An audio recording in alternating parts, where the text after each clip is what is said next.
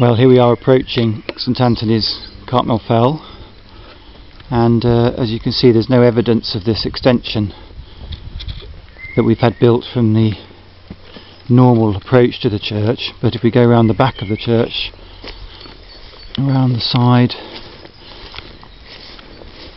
at the west end here, you just begin to see the new building very neatly joined on to the existing and just echoing the boiler room that you can see at the far end there. So here it is. It just needs some finishing touches in terms of final rendering when the weather's better. But uh, from the approach to the church you wouldn't know this extension's here so it's very discreet and we're very pleased with the overall effect. And uh, the area's been grass seeded and will soon green up and blend